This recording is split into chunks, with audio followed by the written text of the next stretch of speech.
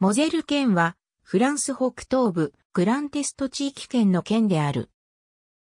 ムルトイコール A イコールモゼル県、バイコールラン県、ドイツ及びルクセンブルク対抗国と国境を接する。1790年3月4日に新設された83県のうちの一つ。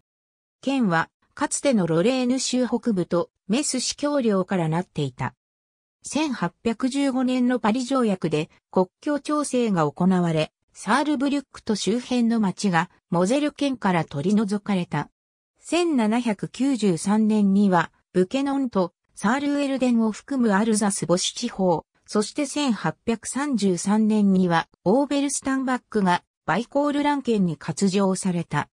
フランスと第六次対仏外同盟が調印した1814年のパリ条約でモゼル県はプロイセンに対してトレオゴーリ、シールクレバンオゴーリを割譲した。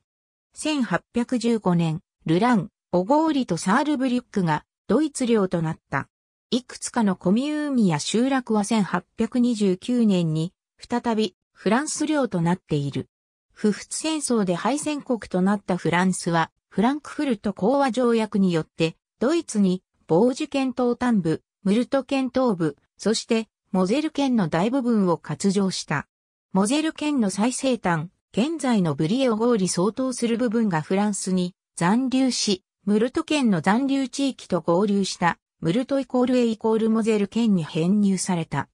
ドイツ領になった部分は、ロレーヌにおけるドイツ語圏だけではなかった。ティオンビル、ブレモゼル、サルグミーヌ及びサールブールは、ロレーヌにおけるフランス語圏であった。ドイツに編入されたアルザスとロレーヌは一つにまとめられ帝国直轄州エルザスロートリンゲンとなり、かつてのモゼル県に相当する部分はロートリンゲン郡となった。第一次世界大戦が勃発すると、モゼル県はドイツ軍に組み込まれた。1914年から1918年の間、アルザス人とモゼル人計約1万8000人がフランス軍に入った。戦争終結までドイツ帝国のために戦った徴兵者の95%以上、約38万人がアルザスロレーヌ人であった。こうした徴兵の戦死者の墓は、ドイツ墓地管理委員会が管理している。このことが、県の戦死者追悼についての特異性を示している。多くの場合、墓碑には、我々の戦死者へと刻まれ、伝統的にフランスのために命を捧げたものと刻まれるのとは異なる。1919年のベルサイユ条約でロレーヌ地域圏の領土がフランスに返還されたが、その多くが元のフランスの県に戻ったのに対し、ロートリンゲン郡であった部分は新たにモゼル県として再編された。ブリーエ郡のような元モゼル県地域はそのまま、ムルトイコールエイコールモゼル県に残された。戦間期のモゼル県は、戦争の涙、ナショナリズムに翻弄された被害で心に傷を負っていた。モゼルの知識人たちは、フランスへのモゼル再統合について異なる反応を見せた。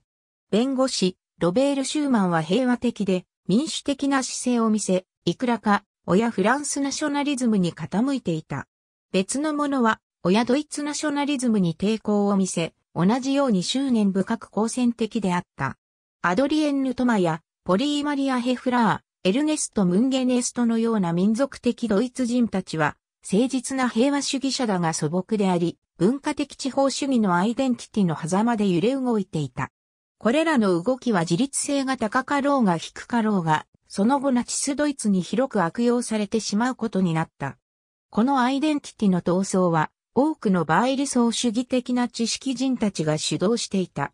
彼らは欧州全体の中では非常に敏感であった。このことはアルザスロレーヌすべての独自のアイデンティティの危機を反映したものだった。モゼル県は1939年9月3日に宣戦布告され、第二次世界大戦の影響を受けることになった。県面積のほぼ30%がマジの線と対ドイツ国境の間になったのである。県人口の45%に相当する約30万人が9月のうちにフランス中部や西部へ避難した。彼らが向かったのはシャラント県、シャラントアンフェリュール県、ビエンヌ県、オートイコールビエンヌ県であり、未成年者たちを受け入れたのは、オートイコールロワール県であった。オベルドルフのような国境の村には、9月1日に避難命令が出されていた。避難した30万人のうち、約20万人は大戦終結後に帰還した。第二次世界大戦中、1940年6月22日に休戦したにもかかわらず、モゼルは7月になってナチスドイツに併合された。モゼルは併合されたアルザスと同じ運命を辿らなかったが、西部辺境を意味するガウベストマルクに併合された。モゼルにおけるフランス語話者、または単なる親フランスは、大管区指導者、ヨーゼフ・ビュルケルによって、フランスに大量に追放された。同年8月に追放されたメス司教ジョゼフ・ジャン・ハンツが、その例である。